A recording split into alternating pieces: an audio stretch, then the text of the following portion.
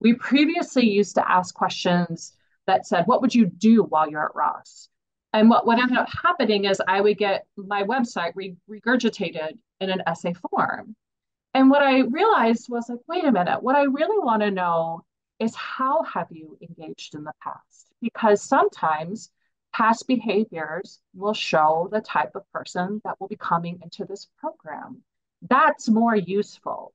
So I'd love to see a student who has been involved in some kind of extracurricular activity that means something deep to them and perhaps where they have grown into it, right? I started off as, you know, a participant in this and now I'm the VP or I'm doing the marketing or I'm doing something. It's wonderful to see when people have actually taken an activity and grown with it rather than just put it on a resume to have a check mark.